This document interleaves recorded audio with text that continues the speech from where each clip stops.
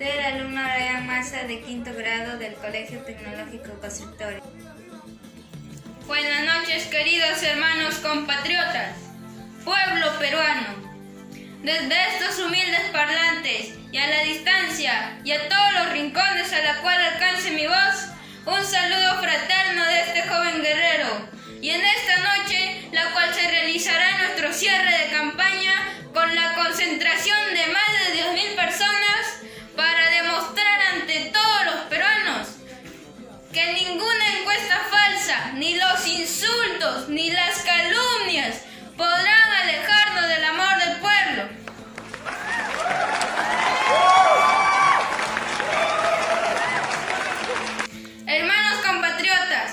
Mis maestros, a mis padres y a todo el pueblo peruano, muchas gracias por esta gran oportunidad que le dan a los jóvenes por participar en política. Porque ustedes son nuestros padres en política, porque ustedes son un ejemplo a seguir, porque ustedes quieren lo mismo que nosotros queremos. Un Perú libre de corrupción, un Perú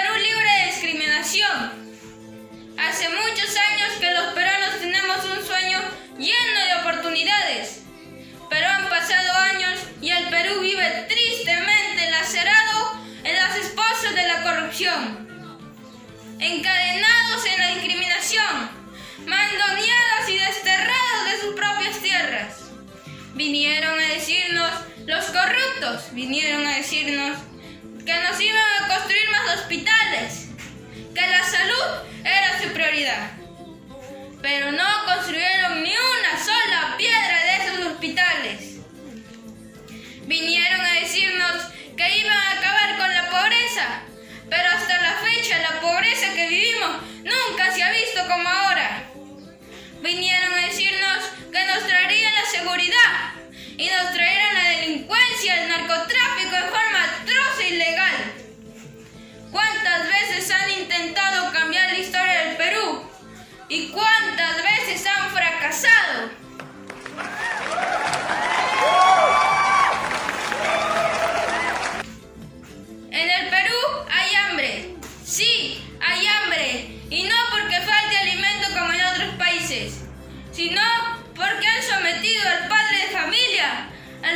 más grande a la cual se puede someter a un hombre a trabajar 30 días al mes y no lograr alcanzar lo suficiente para llevar un pan a su mesa. Ya no más, ahora estoy aquí para garantizar al pueblo peruano que no vamos a fracasar. Y la única manera de no fracasar es si todos los peruanos estamos unidos. Compatriotas, yo les doy la certeza que la victoria es nuestra. Que nadie deje caer sus manos. Que nadie disminuya ni un centímetro de los objetivos que se han trazado con su país. Porque vamos a salir de esta, así como muchos países salieron de crisis más duras.